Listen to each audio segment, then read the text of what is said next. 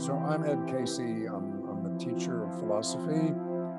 I'm a phenomenologist, also trained as a psychoanalyst at an earlier phase of my life.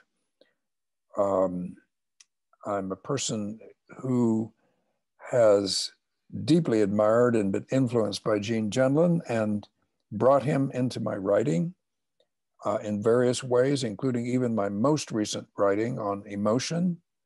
I still teach, although I'm getting no younger. I'm still teaching at SUNY Stony Brook, but part time.